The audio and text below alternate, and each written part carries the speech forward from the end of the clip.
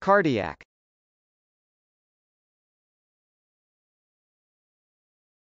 Cardiac.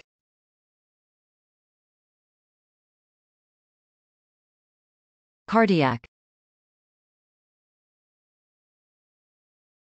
Cardiac can be an adjective or a noun. As an adjective cardiac can mean, 1. Pertaining to the heart. 2. Pertaining to the cardia. 3. Exciting action in the heart, through the medium of the stomach, cordial, stimulant. As a noun cardiac can mean, 1. A person with heart disease. 2. Heart disease. 3. A medicine that excites action in the stomach. can cause profound cardiac injury.